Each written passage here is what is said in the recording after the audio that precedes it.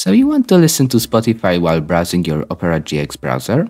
And in this video, I will show you how you can add this sidebar icon with Spotify in it in Opera GX. So the first thing that we need to do is we need to go to the search bar right here and type in Chrome, double dots, slash slash, flags, and another slash. Click enter, and this will direct you to this page. And what you need to do is you need to search for custom, and here you will see custom user sites or browser sidebar. And here you just need to click on this default option and click on enabled. And you will see this button called relaunch, so click on it and this will relaunch your browser.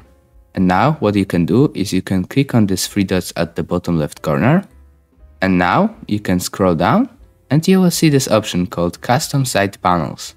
Click on add custom site panel and type in spotify.com. Click on create and as you can see, this will made it so you have Spotify on your sidebar. If you find this helpful, please leave a like and subscribe. Take care.